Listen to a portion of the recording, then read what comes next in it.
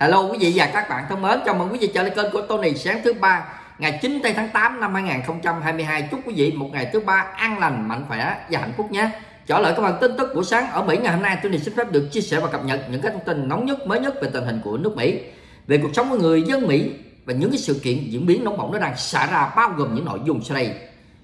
Bị chỉ điểm cả một cái biệt đội cả một cái căn cứ của chú Buri đã bị sang phẳng. Vì sao? Tại sao? Nội dung thứ hai, cuối cùng thì sát thủ của Mỹ đã ở trong tay của Ukraine. Chú Buri sẽ ăn không ngon ngủ, không yên từ đây.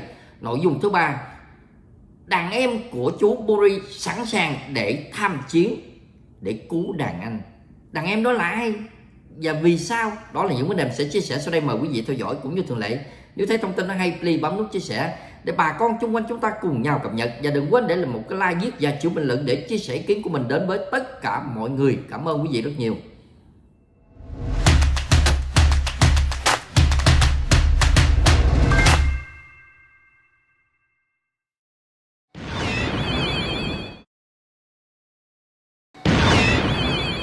Sau đây mình sẽ đi vào một cái nội dung tin mừng cho quân đội và người dân cũng như là đất nước Ukraine.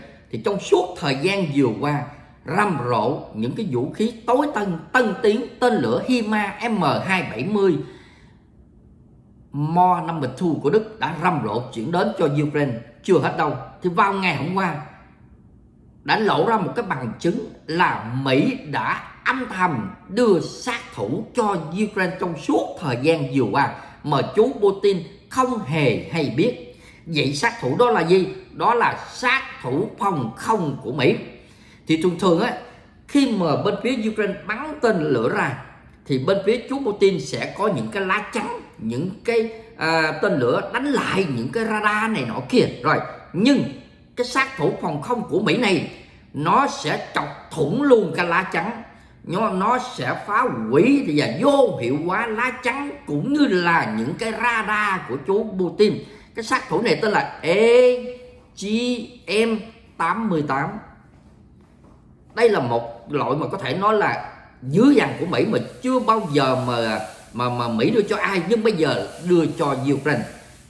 Thì vào ngày hôm qua, theo như truyền thông của Nga đưa tin là sau khi mà quân đội Ukraine đã dùng những cái EGM88 này pháo kích vào trong cái à, lãnh thổ cũng như là những cái hậu cần của chú Buri thì à, người ta đã phát hiện ra những cái mảnh dở này và bên phía Nga té ngựa ra.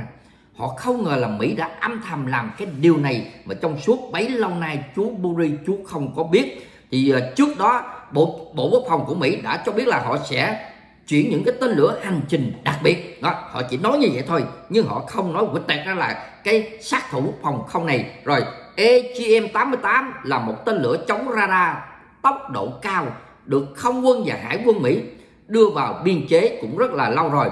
Nó có khả năng nhắm vào mục tiêu và các radar tần số cao, được xem là một vũ khí chủ lực của Mỹ trong thế trận áp chế phòng không đối phương. Tức là đây là một cái nó gọi là chuyên gia mà chiến đấu về trên không á, và nó sẽ vô hiệu hóa những cái lá chắn của đối thủ cũng như là radar của đối thủ. Thì đây cũng là một cái thông tin mừng cho quân đội Ukraine. Tại vì trong thời điểm này, Ukraine đang tổng phản công cho nên họ cần những cái vũ khí tối tân như thế này. Và bây giờ mình sẽ đi vào cái nội dung thứ hai.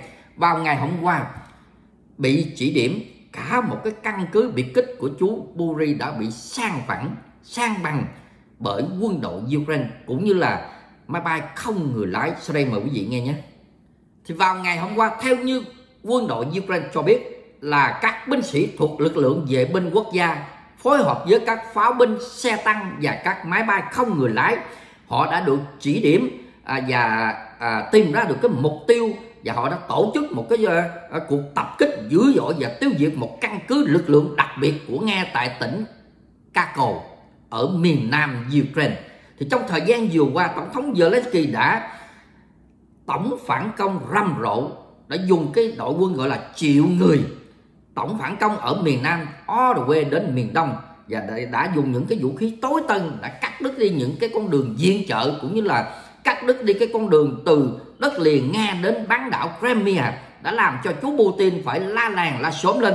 Và coi như uh, bây giờ chú cạn kiệt vũ khí thì chú cũng không còn quân đội luôn. Bây giờ chú đang yêu cầu chú ổn dụ chú ổn là bắt triều tiên á, là cho tiền cho bạc, cho đồ ăn, để chú ổn có thể đưa quân quân nào cũng được, già cũng được, trẻ cũng được, hay là sồn sồn cũng được, đem hết qua đây.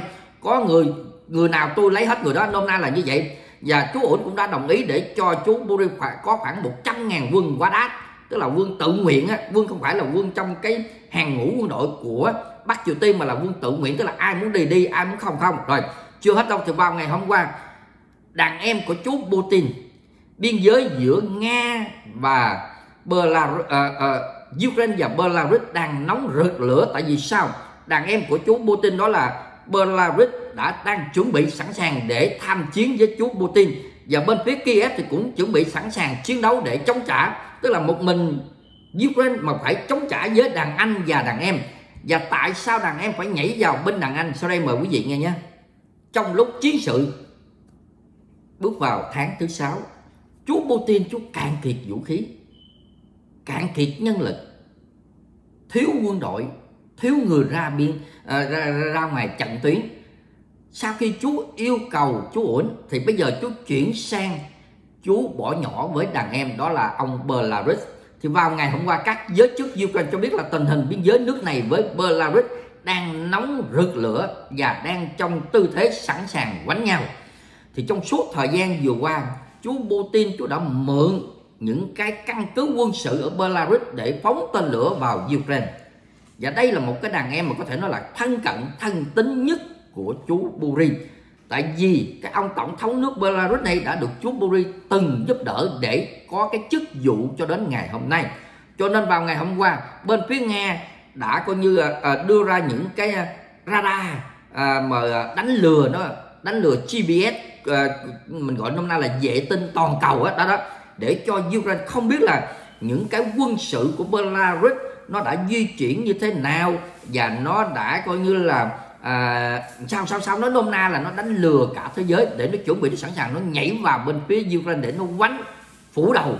À cho nên vào ngày hôm qua các giới chức Ukraine nhận định là các thiết bị tác chiến điện tử của Nga đã đưa cho Belarus để mà đánh lừa tín hiệu GPS à đây cũng là một cái hành động mà Belarus đang chuẩn bị để xâm nhập và tham chiến với đàn anh của mình là chú Burin.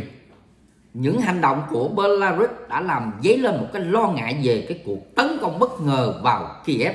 Cho nên vào ngày hôm qua, bộ tổng tham mưu của các lực lượng vũ trang Ukraine tuyên bố là quân đội nước này tại cái khu vực biên giới này đã đặt.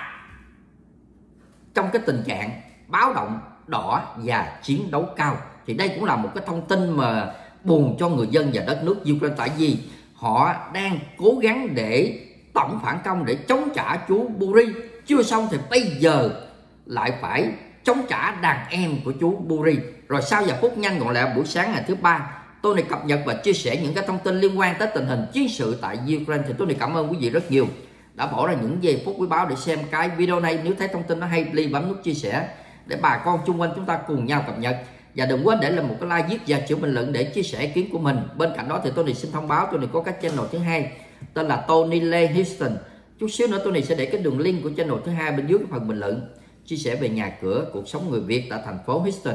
Thức ăn, phong cảnh, công ăn việc làm, how to make the money, xem cho vui, xem để giải trí, xem để biết và nếu thấy hay, thấy hữu ích thì cũng đừng quên bấm luôn cái nút đăng ký và bấm luôn cái chuông cái bên để ủng hộ tinh thần. Channel thứ hai cho Tony Lê nha. Have a good day. Thank you.